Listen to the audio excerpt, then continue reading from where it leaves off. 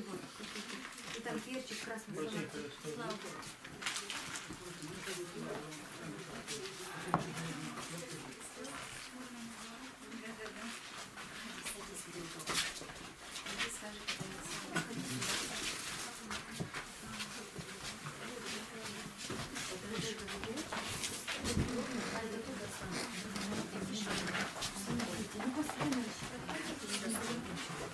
Надеюсь, что следующий субботу, это какое число будет? Какое число? Первое, третье. Второе, второе, Второе, значит, Так, моток убери с дороги, а то на него наступит. Всех учащихся.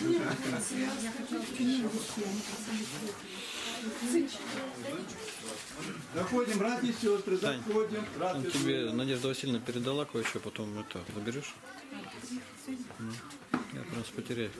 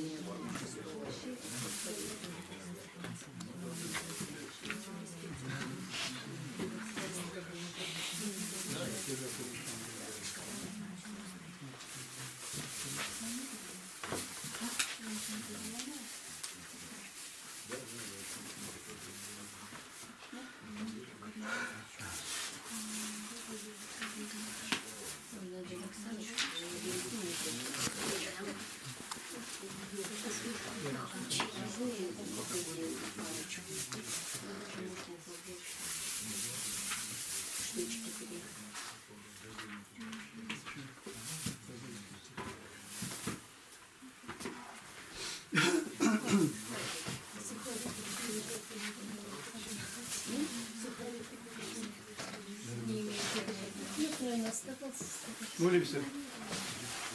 Царю небесный, утешителю души истины, и живи сердце, и все исполняя, сокровище благих и жизни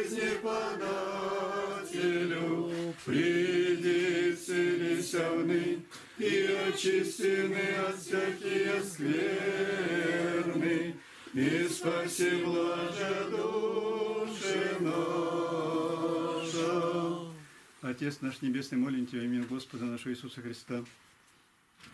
Прибудь с нами, не дай нам уклоняться ни влево, ни вправо, но строго следовать по окровавленным Твоим стопам. Господи, научи нас истинно любить Тебя и любить ближнего, чтобы на этих двух заповедях исполнить и все остальные. Помоги нам, Господи. Без Тебя ничего не можем совершить доброго. На Тебя единого уповаем. Тебе славу ссылаем Отцу и Сыну и Святому Духу, ныне всегда и во веки веков. Аминь. С праздником, братья и сестры. С воскресным днем.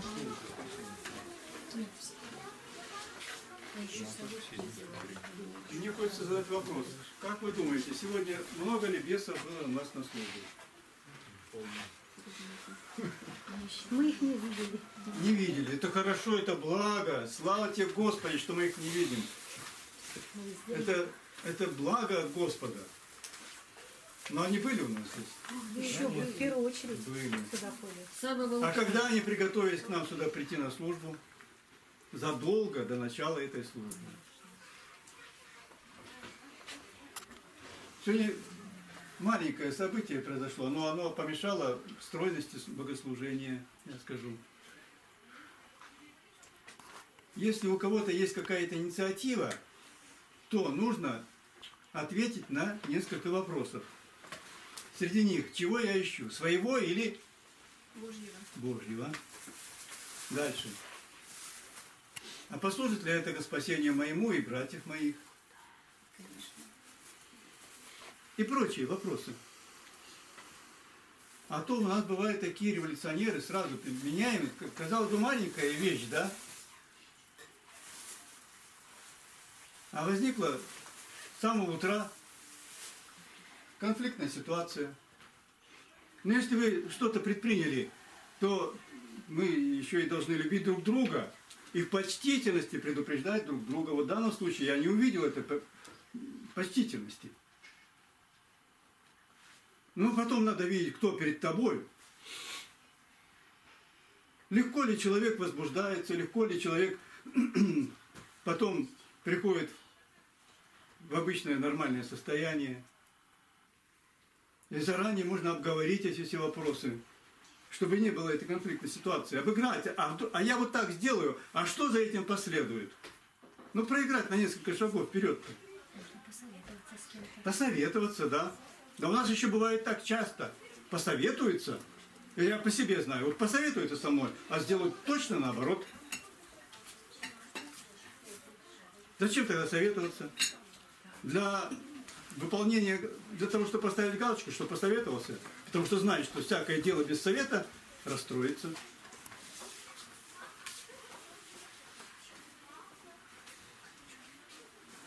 Ну вот, не называя, так сказать, имен, и... но событие такое произошло сегодня. Так что, ну, имейте в виду, что это надо, если у вас какая-то инициатива есть, ну, обсудите ее, посоветуйтесь. Проиграйте на несколько шагов вперед, что может случиться, какая ситуация может возникнуть.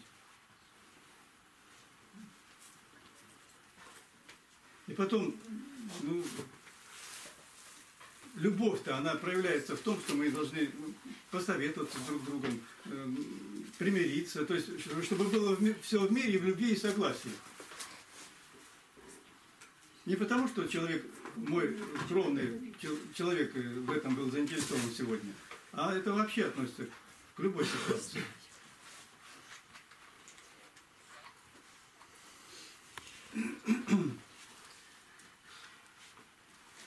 Вот. Ну и сегодня у нас, я не знаю какое, радостное или нерадостное событие. Радостное, наверное, событие, потому что я услышал эту радость э, в 5.30 э, от Татьяны Кузьминичны. Услышал радость ее в голосе. Вчера она тут была такая вся горестная, вся такая страждущая. Да. А сегодня я услышал радостный голос. Почему? Потому что в мире отошла наша сестра Александра. Так что упокой ее, Господи, душу в обителях небесных. Прости все согрешения, вольные, невольные, исповеданные неисповеданные по человеческой немощи. Ну, мучилась рядом с собой тоже сестры наши. Спаси вас, Христос, помогали ей в этих страждущие моменты. Не забывайте молиться о брате Сергии, который страждет уже 15 лет. И его матери, которая за ним ухаживает, тоже это раба Татьяна. О рабе Татьяне, ну и как Ну, тоже молитесь, чтобы Господь ее как-то вот побудил, что ли. Вот ее нет на службе, то придет сразу раз умчалась. Она э, прикрывается там по- побочными эффектами от химиотерапии, уже там все давно, вся химия вышла из нее. Но а, вот она все это как бы нравится ей это. Ну, как-то надо посетить ее, поговорить с ней. Какие-то у нее там семейные передряги. Ну, они и будут, эти семейные передряги. Ну, надо же преодолевать их, надо идти сюда, надо общаться с братьями и сестрами. Надо получать Ну, общее какое-то направление к спасению. Да. Я ее в пятницу видела. В пятницу, ну случайно мы встретились, шла она из поликлиники. Ну, она так хорошо выглядела, все, так мы стали обнялись, разговаривать стали с ней. Ну, короче говоря, э, у нее, знаете, какое, ну, духовное состояние такое, как-то в таком этом. И у нее сейчас с родителями какое-то такое хорошее установилось отношение. Родители в таком состоянии в очень плохом. И, они, и она за ними еще стала ухаживать. А они говорят, ты сама такая, Танечка, больная, ты ухаживаешь. Как-то у них такое вот мирное сосуществование, то как-то у них конфликтная была ситуация. И она говорит, и я их вожу пешком. Потому что часто отец порывается прямо на это пойдем, ну тянет жену через там через дороги переходить. И она говорит, мать, проводи нас, потому что он говорит, все равно становится. А я говорит, говорю ему, ты сам лезешь под то, чтобы тебя сбило, чтобы ты это, говорит, а зачем уже, ну, что типа того, что уже, зачем мне это дальше жить-то? Куда ходят? А они в, в это, да, в храм Покровский. И вот она их теперь туда водит. Я, говорит, их вожу туда и обратно их веду. Потому что на машине, как бы, и тут вообще неудобно мне какие-то. Тут нам ли- близко и хорошо. И, говорит, э, переда, ну, не передай, она вот так, говорит, я вот так у меня получается. И у меня, говорит, к родителям, я говорю, а знаешь, я только что послушала проповедь, как священник говорит, просите у Бога духа любви. Духа любви. К ближним прежде всего, потом ко всем, кто с вами в контакте таком. А она так задумалась, духа любви. И для меня это было, она говорит, ну я знаю, что любовь это все, любовь это все покрывает, все это. А я говорю, так, отдельно духа любви. И ей это тоже как-то так пришлось по душе. Единственное, она шла из первой поликлиники, вот как раз по этому, по Ленинскому. И потом она говорит, смотри, что-то я не пойму. Рука вот такая вот прям вот как подушка рука. Видно, почка у нее вот с этой стороны, говорит, болит у меня. И говорит, Виктор Андреевич мне сказал, то-то, то-то. И она зашла вот тут примерже. Мы посидели там вот в аптеке, на остановке в аптеке она была. И, в общем, у нее говорит, вот, вот у меня такая ситуация, вы уж меня простите, что я, ну, не простите, а чтобы не посещаю. Я вот им хочу уделить, потому что отец уже вообще ничего Нет, ну не понятно. Ну, слишком такая долго. ситуация. Понятно, что она должна, конечно, раз ходит в храм туда с родителями, да, да ради Бога. Пусть она это делает. Но Ну и нас не здесь, здесь-то тоже нужно быть. Но, одним словом, каждый выбирает сам свой путь спасения. Да. Так, я, я хочу такой вопрос поднять сегодня, потому что у нас уже такая ситуация сложилась критическая, что у нас уже месяц, уже с лишним полы в храме не мыто. Почему? Потому что братьев мы не можем никак найти. У меня предложение такое. У нас есть график, и две сестры там дежурят в графике. У нас большинство сестер в храме имеют мужа, отца и так далее, родственников. С ней в паре идет другая сестра, у которой может не быть мужа или кого-то. Я думаю, за две недели как-то можно вот этого своего мужа, отца, чтобы он храм просто открыл, и он может сидеть там ноутбуком, заниматься в машине или по дворе что-то поделать, дрова там, еще что-то. Давайте подключим наших мужей, они также ходят, топчут полы, также здесь присутствуют. Почему это только сестер должно касаться? Мы уже, вчера у меня уже просто до слез. Никому ничего не надо, найти никого невозможно. Меня упрекают полы не мытые. И, и мы не можем просто попасть, понимаете? Вообще в храм не можем попасть никак. Договорились с одним человеком, не получилось. Договорились с другим человеком, тоже ему некогда, ничего не надо. Третий вообще ничего не соображает уже. И получается, что все. Ты предлагаешь Дмитрию дать ключ, чтобы он открыл твоему мужу? Не, Я- же сказала. Которая из общины. Она из общины, которые да. ходят в храм. Причем тут мой-то, как слушали? Не-не-не. Ну, простите, ну. Можно было и так понять. Посмотрите, у нас у Нади муж есть, у Ларисы муж есть, да, у. Лены папа здесь Валера. И много еще братьев можно назвать. У кого сестры, у кого братья. Как-то решить нам надо, хотя бы на летний период, только на летний. Ворота Гантель забрал ключ в году, в этом году не выдал. Это можно Мы дубликаты сделать, Мы дубликаты. сделали в прошлом году. Что Все сделать? конфисковали. Все конфисковали, а весной не выдали. Свое сделайте. так, есть хозяин дома. Да. И он решает, как заходить, выходить и поселить. Мы здесь в гостях. Вот и всё все. И менять мы, мы пока ничего не будем. Вот батюшка приедет, осень Не будет. о том, ничего страшного. не о том вздыхаешь, не о том вздыхаешь. когда батюшка приезжает, в субботу он всегда здесь. Он не любит, Пожалуйста, сестры, пожалейте вы батюшку, он уже падает к концу службы, еле последние Да молитвы. никто не Но он откроет и все. А ты? Он хочет Ладно, поддохнуть, это решаемо. А не то, чтобы мы тут толклись Ну, ему, ему не старенькому. мешали. Да, конечно, кому? Так, услышали э, просьбу сестры Елены в куларах обсудить? Чисто, сухо Ладно. и нормально. Подметали вот осенью. Так, было. еще о болящих. Молитесь о рабе нашей сестре Анастасии. осложнения. Там цистит присоединился вчера у нее. Эзофагит, воспаление пищевода, эрозивная эрозия в пищеводе, есть не может толком. Накупил лекарства, вот сегодня передам с э, ребятами здесь, еще заедем. В аптеку я куплю еще А дополнительные на лекарства химию, по когда поводу. она сказала, На химию уже седьмого. Седьмого, А еще седьмого она... да, седьмого уже надо будет. Следующий курс. Но до, до- до этого нужно оклематься от этого. Конечно. Так что вот э, помолитесь, чтобы Господь помог ей. Этот заброс желчи из э, двенадцатиперстной кишки, пищевод, ожог, эрозии, боли, при глотании, Сидя даже да.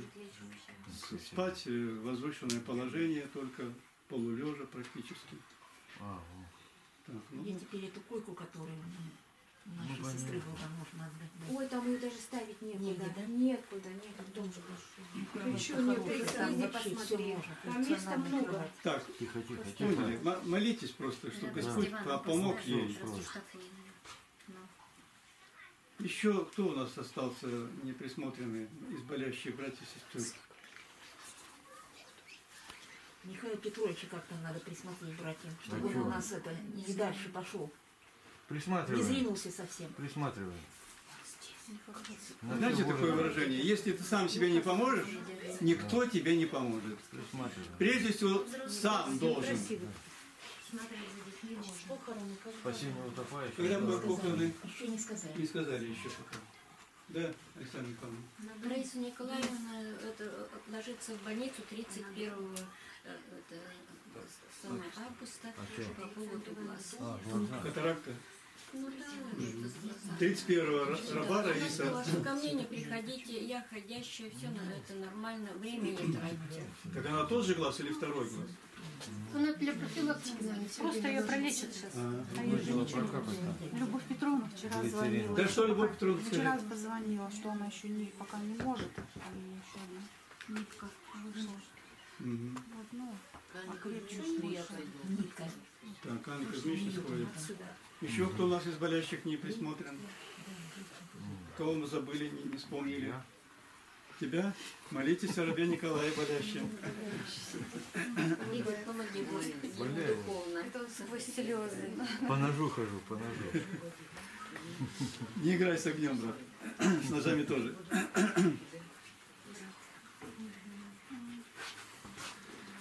Толкование на сегодняшнее евангельское чтение. У нас брат вернулся. Брат Сергей, пусть расскажет.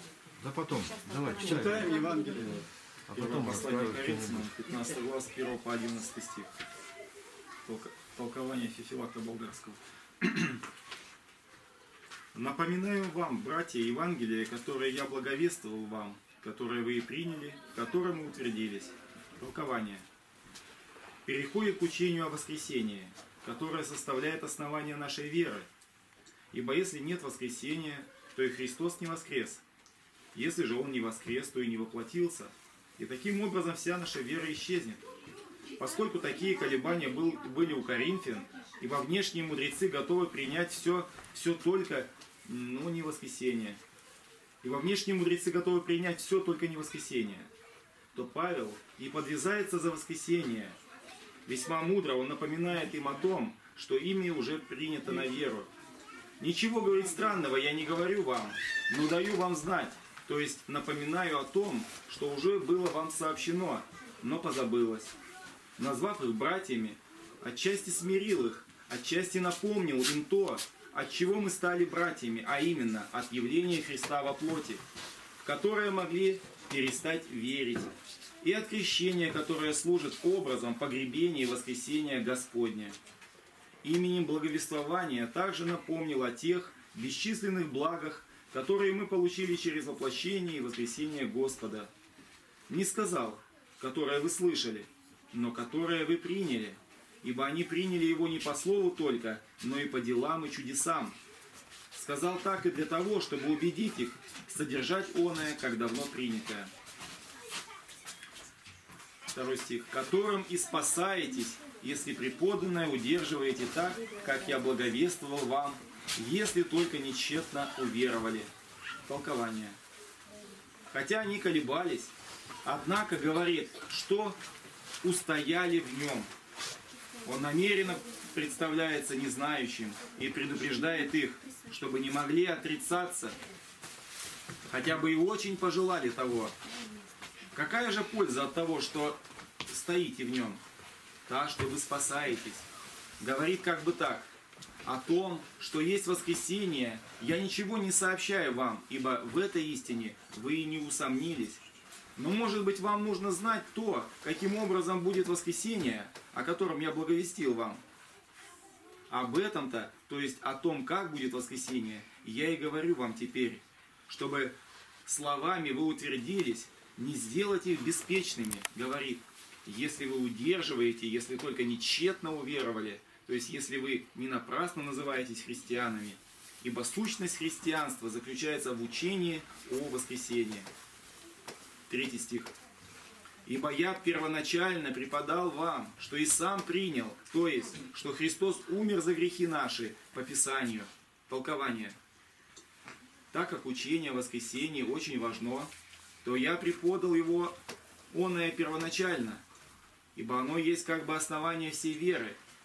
Принял же оное и я, то есть от Христа. Посему как я содержу оное, так и вы должны содержать. И как вы приняли в начале, то ныне вы не правы, когда усомнились, хотя на время. Эти слова, очевидно, принадлежат самому Христу, говорившему через Павла, поскольку манихеи будут впоследствии говорить, что Павел смертью называет грехи, а воскресением освобождение от них, то ему угодно было сими словами заранее обличить их. Так Христос умер, какой смертью? Без сомнения телесной, не греховной, ибо он греха не сотворил. Если же они не постыдятся сказать, что и он умер смертью греховной, то как сказано, что он умер за наши грехи? Ибо если и он был грешник, то как он умер за наши грехи? Весьма ясно поражает их и сим замечанием по Писанию. Ибо Писание везде приписывают Христу эту телесную смерть. Так говорится, пронзили руки мои и ноги мои. Псалом 21, 17. И еще, воззрят на того, которого пронзили. За Захария 12, 10. И еще, он изъязвен был за грехи наши, за преступление народа моего он идет на смерть. Исайя 53, 5, 8 стих. Стих 4. И что он погребен был, и что воскрес в третий день по Писанию. Толкование. Итак, он и тело имел, ибо погребался, ибо погребается тело. Слова же по Писанию не прибавил или потому, что гроб был весь, всем известен, или потому, что слово по Писанию относится ко всему вообще. Где же Писания говорят, что он воскрес в третий день? В прообразе Ионы, и прежде всего в Исааке, который в три дня сохранен живым для матери, а не был заклан, и весьма многих иных прообразах. Также в словах Исаии Господь хочет очистить его от язвы, показать ему свет. В словах Давида «Не оставишь души моей в Уаде» Псалом 15.10. Стих 5. «И что явился Кифи, потом 12». Толкование. В первых поставляет свидетеля достовернейшего из всех. Хотя Евангелие говорит, что Господь явился прежде Марии, Марка 16.9, но из мужей первому явился Петру, как лучшему из учеников, ибо тому, что первый, ибо тому, кто первый исповедал его Христом, следовало первому видеть воскресение. Является ему прежде прочих, по причине отречения его, дабы показать ему, что он не отвергнут. Матфей сопричислен вместо Иуды после вознесения Господня. Как же Павел говорит потом 12? Отвечаем. Вероятно, он явился Матфею после вознесения, как явился и Павлу, призванному после вознесения. Посему он и не, указан, не указал времени, но выразился неопределенно. Некоторые же говорят, что здесь ошибка писца, или Господь вперед, зная и презирая, что Матфей будет сопричислен к одиннадцати, явился ему, чтобы он и в нем, и всем отношений не был ниже прочих апостолов. Нечто подобное выражает Иоанн, когда говорит, Фома один из двенадцати, Иоанна 20, 24. ибо всякий скорее скажет, что он сопричислил к прочим апостолам Матфея по предвидению, чем Иуду после его предательства и самоубийства. Стих 6. Потом явился более нежели пятистам братьей в одно время, из которых большая часть до ныне в живых, а некоторые почили. Толкование. После доказательства из Писаний приводит во свидетеля апостолов и других верных людей. Слово «более» некоторые объясняют так, свыше, с небес, что он высоко и над головой явился им для того, дабы удостоить в истине вознесения. Иные же понимали так, более нежели пятистам, я, говорит, имею живых свидетелей, изречением почили предуготовляет начало воскресения, ибо кто спит, тот и встает. Стих 7. Потом явился Иакову, также всем апостолам. Толкование. Брату Господа, поставленному от него первым епископом в Иерусалиме, ибо были и другие апостолы, каковы 70 учеников. Стих 8. А после всех явился и мне, как некоему извергу. Толкование. Это слово смиренномудрие. Смирение же сие употребил благоразумно, для того, чтобы, когда скажет о себе высокое, я более всех их потрудился. Ему не отказали в вере, как самохвалу. Извергом в собственном смысле называется недоношенное дитя, которое женщина выкидывает, поскольку называет себя недостойным апостольского звания и человеком отверженным, стих 9, то назвал извергом, как недозрелого по отношению к апостольскому достоинству. Некоторые же под извергом разумели позднее рождение, так как Павел последний из апостолов. Но Павел, но Павла не уничижает то, что он последний увидел Господа, ибо Иаков не ниже прочих пятисот от того, что увидел Господа позже, чем они. Стих 9. «Ибо я наименьший из апостолов, и недостоин называться апостолом, потому что гнал церковь Божию». Толкование. Сам о себе произносит суд.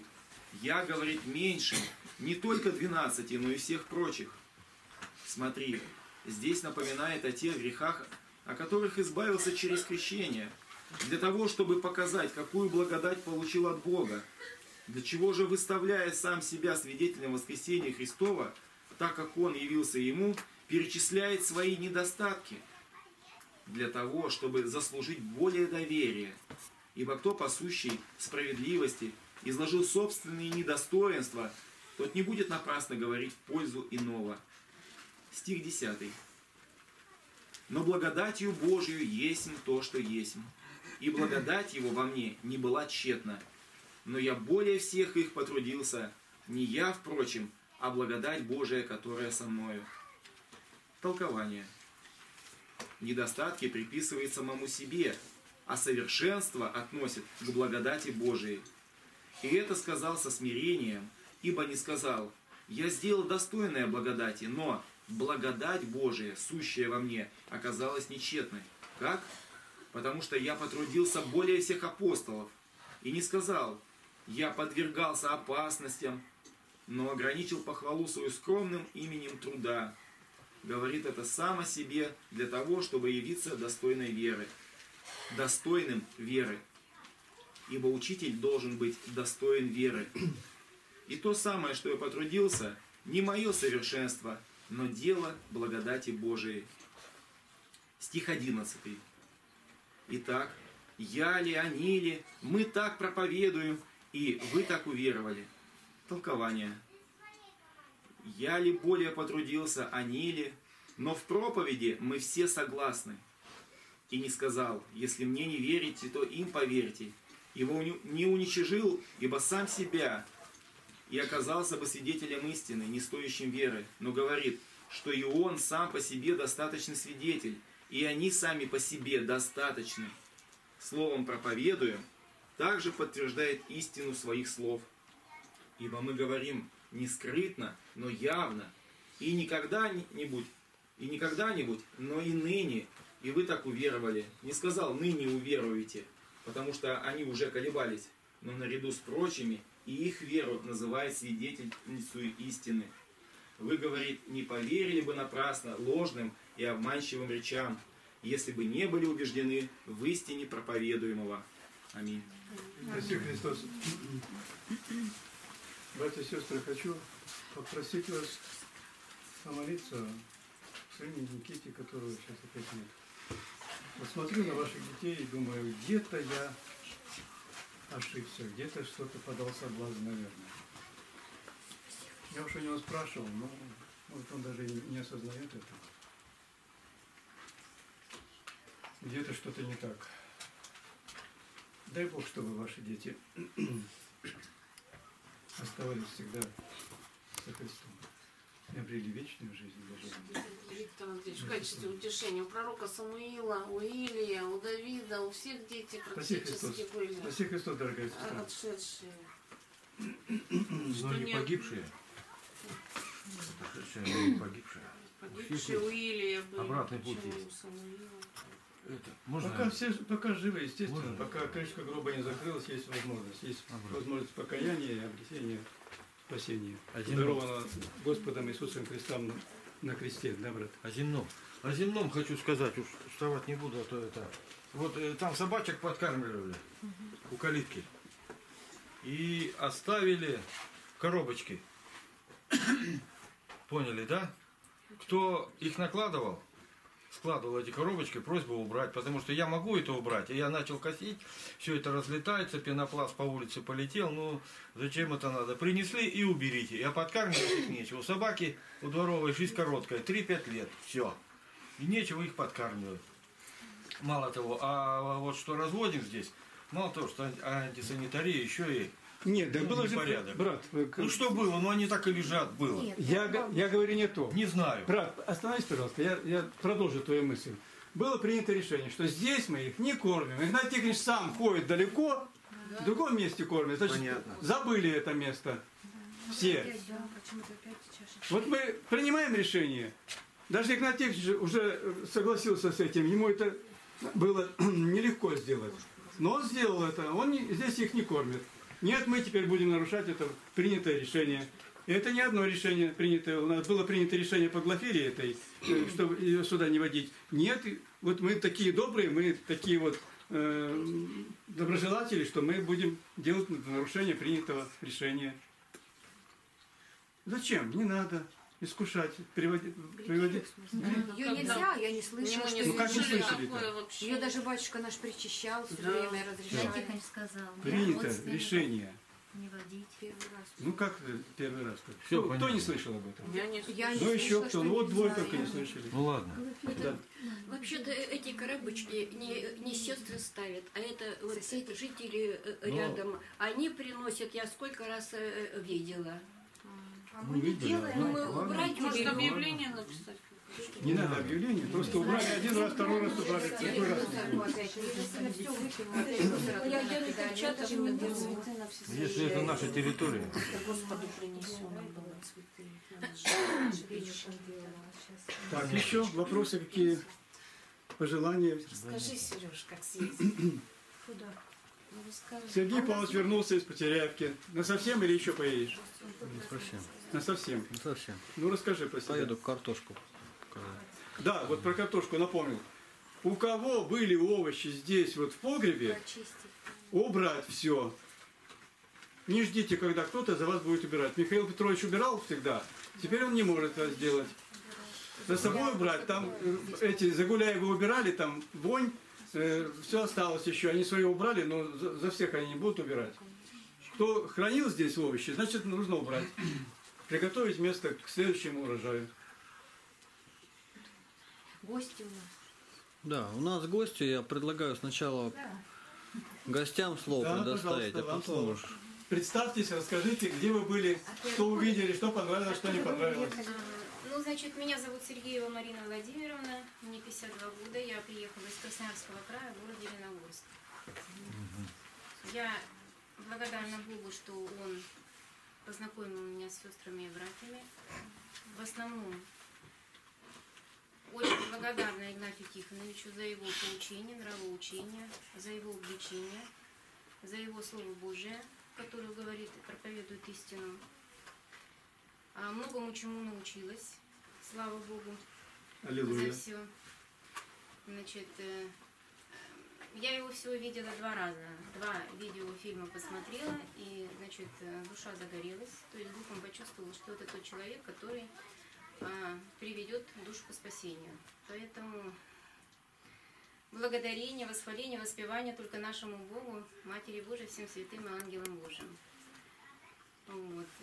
Отец Иоаким очень понравился. Все жители Потеряевки очень добрые, отзывчивые. Благодарна всем. Низкий поклон, благодатная земля. Есть желание приезжать, желание беседовать, поучаться.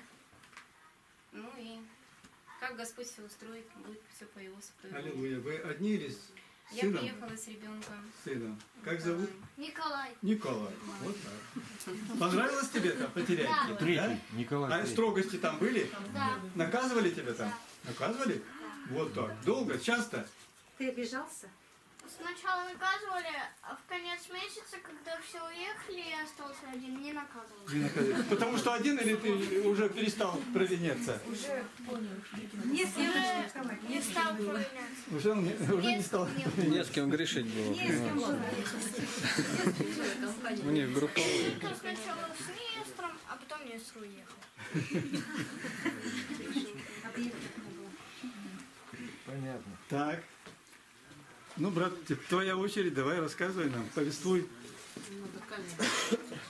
Коля, подержи камеру.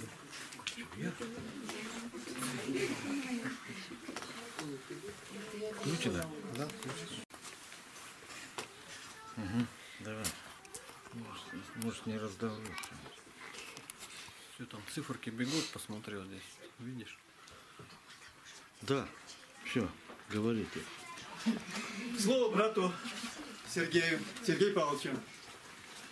Ну, как и всегда, этот год прошел благословенно. Много-много мы переделали там работы. Значит, по восстановлению прудов. Саманили там все вручную. Значит, э, ну и в этом году утешение. То есть я поймал 7 вот таких вот карп. То есть, э, Сам Что? Молодец. Купили, запустили. Если бы я эти пруды не делал, их бы не покупали бы и не запускали. А что их запускать, если там вода по колено? Они бы погибли, только в этом году пустили. Все, молодцы. Значит, сохранили Я поймал вот 7 вот таких карпов. Их можно было бы и прошлый год ловили, позапрошлый, но они вздыхали зимой, и они не могут э, там размножаться Чем ловил-то? удочкой. Угу. удочкой. Вот. Остальных там брат Роман, он на 4 тысячи или на 5 тысяч закупил этих э, маленьких, они выросли, я их хотел вот уже перед отъездом сетью выловить, но батюшка говорит, пусть до октября растут. До октября они еще посильнее вырастут, а в октябре Бог даст, при- приедем, сетями переловим. мы. То есть потеряевка с рыбой, вот. гальяны очень такие в этом году прям жирненькие, тоже ловил гальяны. Я очень много. Не перезимуют, да, Сереж? Не сколько, сколько не перезимуют? Все погибнут. Почему вылавливают надо? Как карпы, ну потому что они не хватает им глубины и они задыхаются.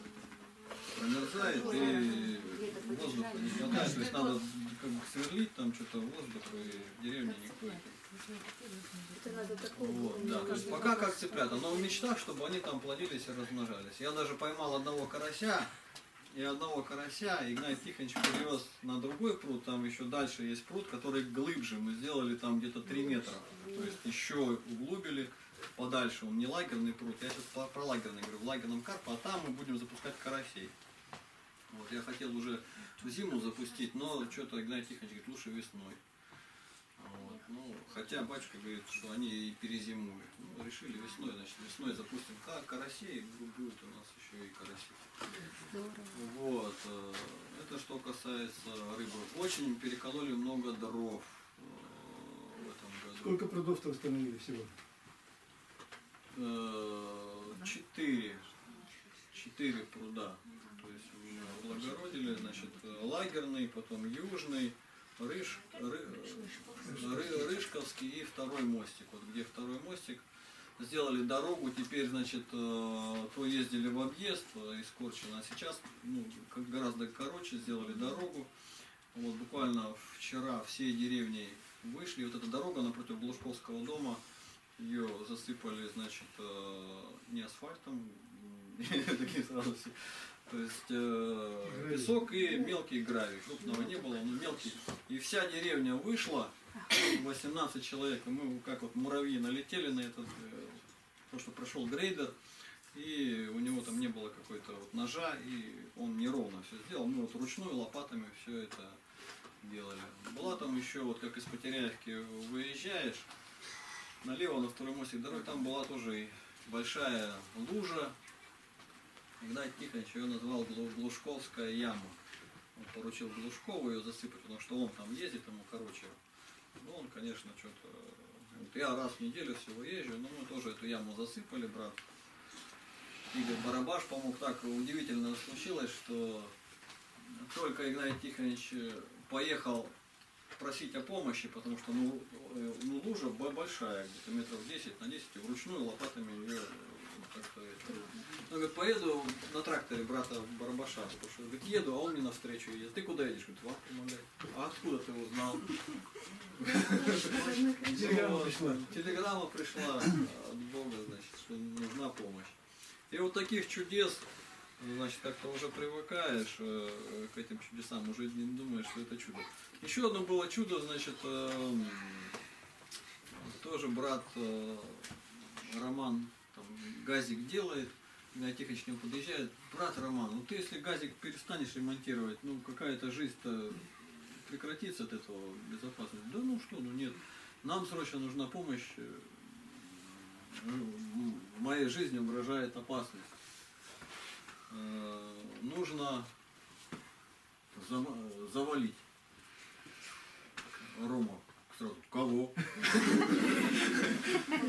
Да никого, а чего? А что? А, вот такой вот юмор э, черный православный. Э, Между домиками Игнатия Тихоновича и Надежды Васильевны рос тополь. И на молитве, видимо, ангел Господень сказал, что его нужно свалить. Кто, что. И вот, ну, ну, Игнатию Тихоновичу нужно свалить. А, Перед этим проезжали там какие-то иногородние и сучки обрубали над проводами, которые мешали. Ну, нужно, нужно, а Роман он безотказный, его что не попросишь, он сразу там на голубятню, на голубятню, он везде такой мастеровой, как бы, все. Вот, у него все есть, он что не попросишь, это вот Господь послал, вот, Складно. все, мы этот тополь, значит, веревку привязали, завалили, внутри, вот верите, нет, вот, вот тополь, допустим, вот он, ну, так- вот такой в обхвате. А коры вот, вот столько, а внутри вот он весь гнилой вот такой. Понимаете? То есть он держался вот на такой вот кромке, и он в любой момент мог На домик. упасть. Да, Игнат Тихонович просчитал, ну крышу бы не проломило, говорит, но по окнам бы ветками, говорит, бы садануло, и окна бы раз- разбило бы, говорит, если бы он упал. Вот, вот это сделали, значит, э, э, дров. э, Роман же выбрал, знаете, место, где между вот Малютина, где жила, и Саманный домик. Вот он между этим там росли большие-большие тополя. Вот. С горем пополам мы эти тополя все свалили, убрали, залили фундамент. Уже он привез брус, то есть уже вот, вчера буквально вот, не хватило, я хотел ему помочь дом построить, но вот у меня работа с 1 сентября школа тоже. А так, ну и слава богу, хоть э, а заливали бетон, такие вот столбушки ставили, то есть он все по, по, по, по, по экономичной технологии, все из интернета, все. Столбики так вот у Рубероя там делает скотчем и заливает. И такой круглый столбик получается. Не надо ни опаловку там колотить, ни ничего. Он первый раз, правда, сделал, она лопнула. Вот тогда посильнее замотал скотчем. Ну, вот они столбушки вот эти стоят, на столбушках уже брус, брус будет. Вот. Э, Ну и в тему, значит, продолжение вот о собаках тут заговорили, моя тема. Э, Значит, э, случилась тоже большая неприятность. Значит, у Игнатия Тихоновича кошка, любимая, ее покусала собака и перегрызла ей нервы, то есть задние конечности у нее не ходят, она вот ну, кое, кое, кое, кое, как и инвалид первой В деревне, что ли? в деревне, да. Вот. э, Подозрение выпало на Хаску. Кто, кто смотрел ролик Хаску? Есть такие? Нет? Вот. Э, На- Надя- Собрание? Да, Собрание? да, собрание, да, Игнатий Тихонович там вот эту всю тему поднимал. Вот. Такая большая неприятность. Я уж вчера говорил Василисе, говорю, ну ты подойди, ну попроси, попроси прощения, что так получилось. Хотя она вроде и не виновата, она ее на кошку на эту не натравила, просто она сорвалась, дала ребенку. Ребенок не удержал, она в волейбол играла. И в этот момент такой вот несчастный случай произошел. Вот. Ну и вот, то есть вот собаки и кошки, их мир не берут. То есть здесь прикармливал Игнатий Тихонович. Собаки убили кошку Надежды Васильевны. Теперь, теперь ему вот бумерангом вернули. Значит, он теперь понимает, что это такое. Вот. Поэтому все, значит, коробки здесь убирать, собаки нам здесь тем более бездомные, ничейные, не, не, не, не, не нужны, не нужны. Вот. Не нужно. Хотите кормить, кормите в тихушку, вас за это не осудит. Хотя добродетели покажи рассудительность. Если от вашего кормления страдает кто-то другой, ну, они же нападают на людей, на детей, на ваших детей, я же говорю.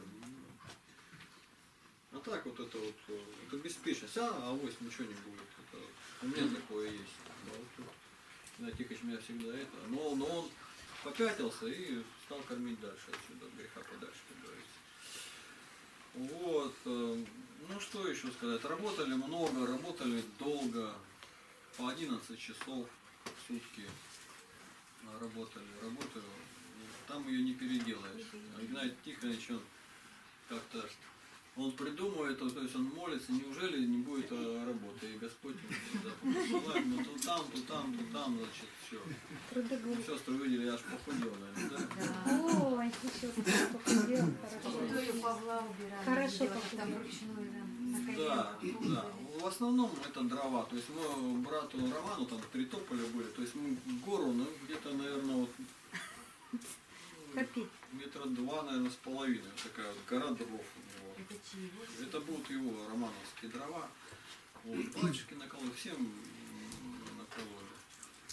А я смотрю, Глушков этот, э, чурки ему привезли, я говорю, надо же, покупают дрова, столько дров, они покупают, ну, попросили бы, подешевле, может, продать, это можно бизнес на дровах делать. Вот, пепелу, ну, спаси Христос брату Андрею Головачу пилу, но что-то она уже начала это, захлеб- захлебываться. Так, такая Да. нагрузка. Не точить, а она греется. То есть три полежка жу-жу-жу, и она... В общем, нужно ее либо ремонтировать, либо менять. Решили поменять, взять новую Турамана за 18 тысяч. А, За 27. ну, у него две, наверное, она за 18. Ну, как. Вот. Ну вот так вот. э, Труд, пост, молитва. Труд, пост, молитва. О Так. школе какая-то новость? Значит, о школе. Да, было э, собрание, приезжала женщина из Мамонтовской, там какой-то этой.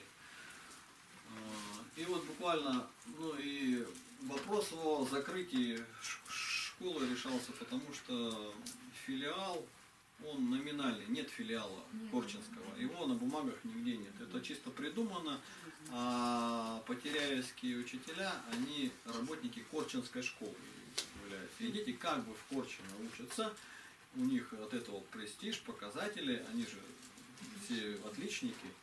И учителя потеряевские-то, э, она не хочет их терять, но по закону они должны все это оформить. А она сама, эта мамонтовская, придумала вот такой вот филиал, все не оформила, а теперь мы вроде как виноваты. Надо, чтобы, чтобы было все по закону, это нужно построить новую школу А как, какие нужно, то есть лицензии, чтобы окна были на ту сторону, а у нас не на ту сторону. Поэтому надо.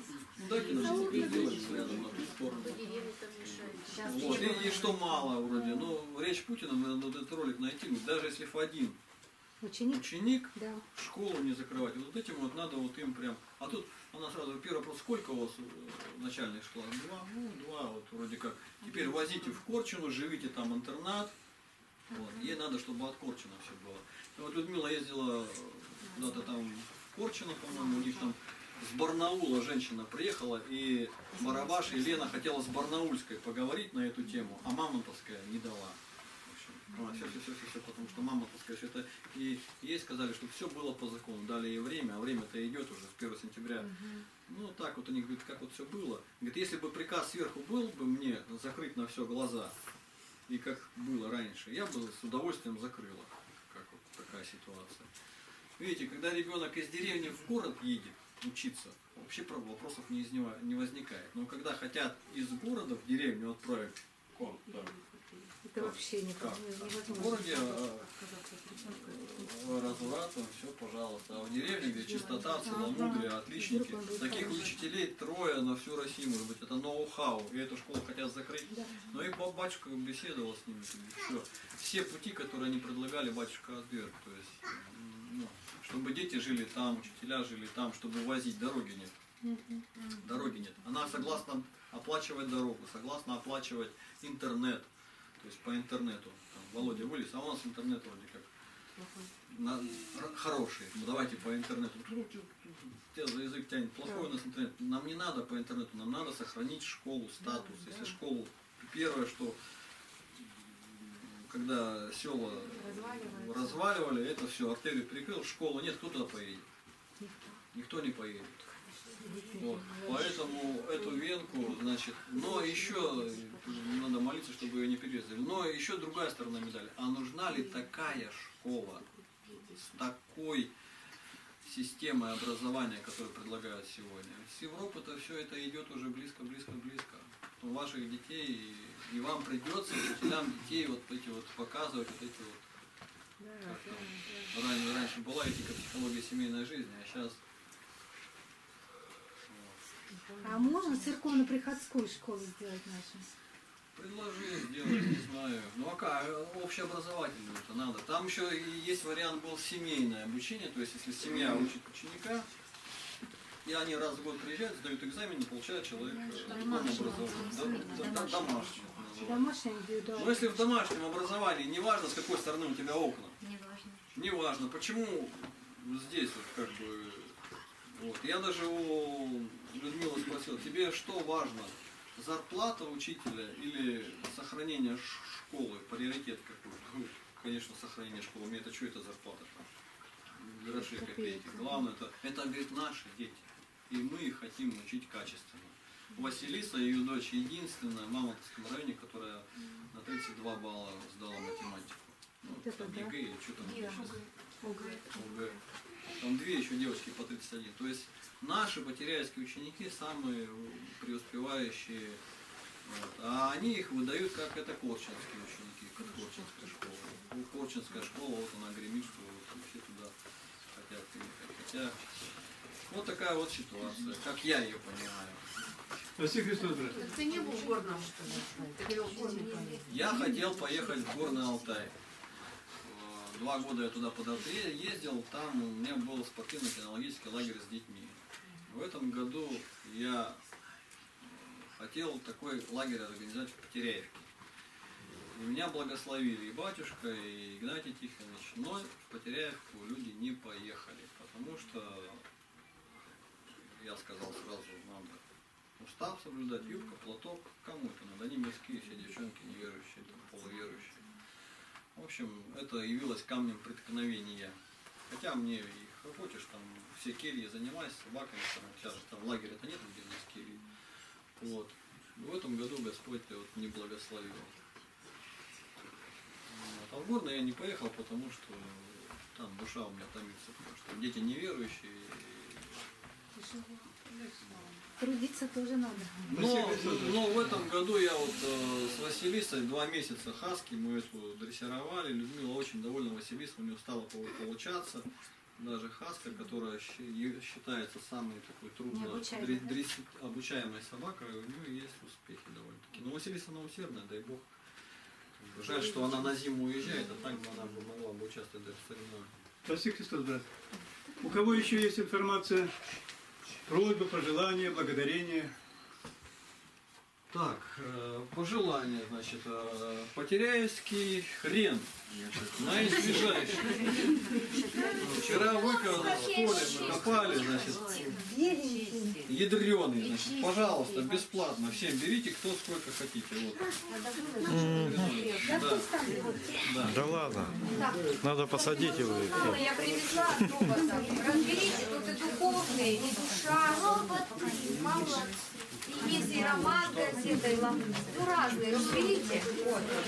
Спаси Христос, братья и сестры. Листья Молимся. малины, листья малины возьмите. Достойная стекла истину, Божите Тебя, Богородицу, Пресноблаженную и пренепорочную, и Матерь Бога нашего, честнейшую Херувим, и славнейшую без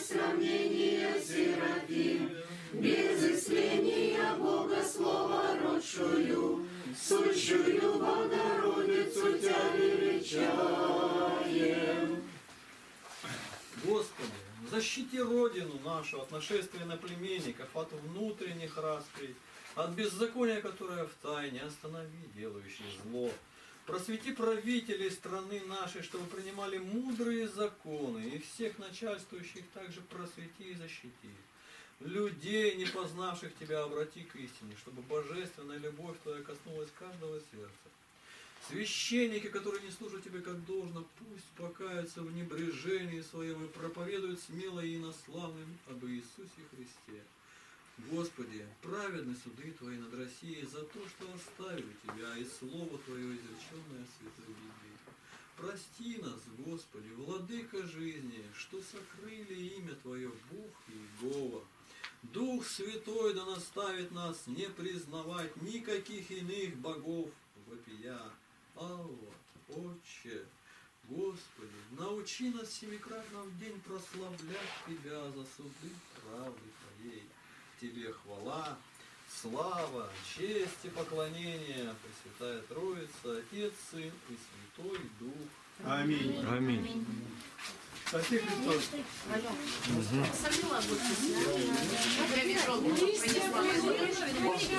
Ой, я сейчас... Вот и бери. Уже